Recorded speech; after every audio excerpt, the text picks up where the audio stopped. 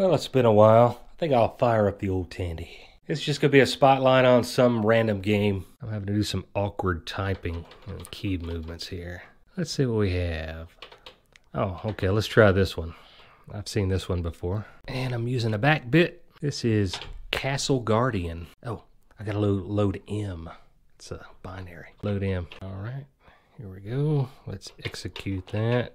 And let's, in fact, I'll let the computer play it and give you an idea how it's supposed to go here. You've got this little thing in the middle, and you're trying to guard your two castles from getting hit by that thing. The bottom bat can actually hit it downward. So they're uh, they're multi-directional bats. Forgive my incorrect assessment there at the beginning. I guess ideally you want to keep that ball of energy between those two bats. If you look, the castle it's actually sinking downwards. So the more it gets hit, the more it sinks. This and this right here, I guess that's a puddle of water or a lake or something. You don't have to worry about that so much. It just reflects the energy. But your castles, they start sinking into the ground the more they get hit. Might have to do some serious editing here to reduce the amount of time. Otherwise, this will be an extremely boring video, more so than it already is. I don't claim to make great videos.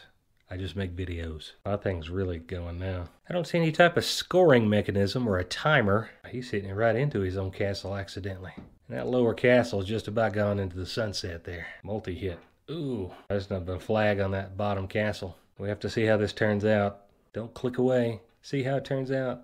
Well, at least the footprint of the castle is small enough now. The game's uh, making it a little easier to defend. Ooh, lasts a lot longer than I. Oh, yeah, no scoring mechanism that I could see. Maybe that's because it's in computer mode. I wonder what it would do on the other one. One player, two player, or the computer playing for your entertainment.